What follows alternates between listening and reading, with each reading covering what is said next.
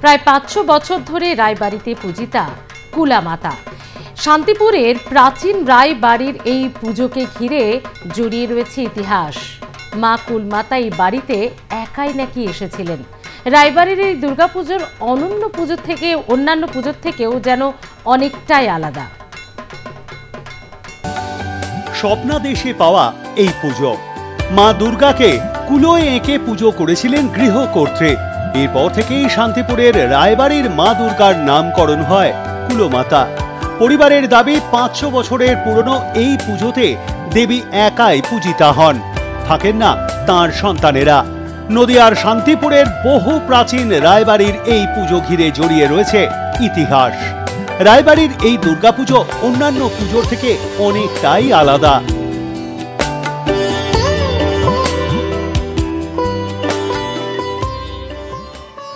এই বাড়ির ইটের পাঁজরে জড়িয়ে রয়েছে অনেক ইতিহাস।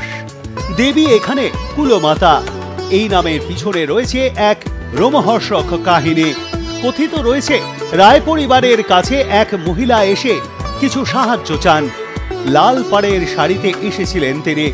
সেই মহিলা রায় পরিবারের কর্তামাকে বলেছিলেন, আমার স্বামী শ্মশানে শ্মশানে ঘুরে বেড়ান। সন্তানেরা রয়েছেন। আমাকে সাহায্য করুন। তখন জমিদার পরিবারের তরফে বলা হয়, সন্তানকে নিয়ে আসুন, সাহায্য করা হবে। এরপরেই রাতে স্বপ্নাদেশ পান তাঁরা। স্বপ্নে মা জানান, তিনি রায় পরিবারের হাতে পুজো পেতে চান।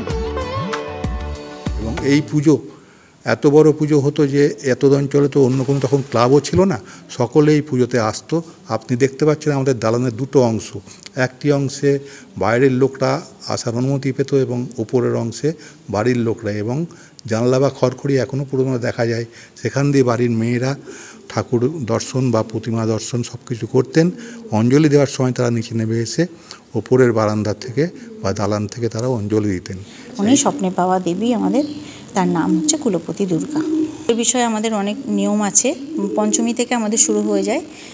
মাকে বরণে চাল দিয়ে নাড়ু, আনন্দ নাড়ু হয়, সবাই মিলে ওরা মিলে করে। তারপরে যে ষষ্ঠী থেকে মানে ইয়ে হয়, বোদন টোদন হয় তারপরে আমাদের তিন দিন যে মা থাকেন, সপ্তমী, অষ্টমী, নবমী, নানা রকম মানে পাঁচ রকম দিয়ে মানে ইয়ে হয়।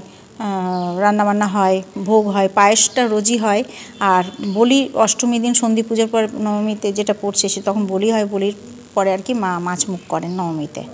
পুজোর কদিন আমরা খুব আনন্দ করি। পঞ্চমী থেকেই মানে আমাদের পঞ্চমীর দিন ঠাকুরকে পাটে তোলার পরে ঠাকুরের নিজেরাই আমরা সব বাড়ির মানে দাদা, বোনেরা, বৌদিরা সবাই মিলে একসাথে অস্ত্র বাড়িতেই বসে পালিশ করে সেই সব গয়না পরানো নিজেরাই তো খুব মজা করি। তারপরে তো ষষ্ঠী, সপ্তমী, অষ্টমী তো প্রতিদিন এক একজন, এক এক সবাই শাড়ি টাড়ি, সব একই রকম পরা। অষ্টমীর দিন সবাই আট পেরো করে শাড়ি পরা। নবমীর দিন যেটা মানে সন্ধি পুজো, অষ্টমীতে যে সন্ধি পুজো হয়, পদ্ম ফুল ফোটানোটা, আমরা সবাই মেয়ে বউরা সবাই মিলেই পদ্ম ফুল ফোটাই একসাথে। এবারও সেজে উঠছে রায়বাড়ির দুর্গাপুজো। যেহেতু মা এই বাড়িতে একাই এসেছিলেন, তাই এখানে শুধু মায়ের মূর্তি গড়া হয়। যদিও পুরোহিত দিয়ে কার্তিক, গণেশ, লক্ষ্মী ও সরস্বতীর নামে ভোগ নিবেদনও করা হয়।